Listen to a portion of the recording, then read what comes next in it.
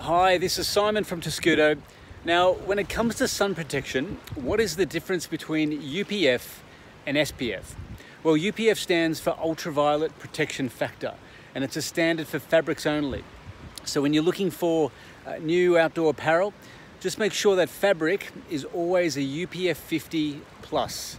Uh, when it comes to SPF, well, SPF stands for Sun Protection Factor, and it's a standard measurement for sunscreens only. So when looking for a new sunscreen, always make sure it's broad spectrum and it's a minimum of SPF 30 plus. This way you'll look at avoiding skin cancers and skin aging.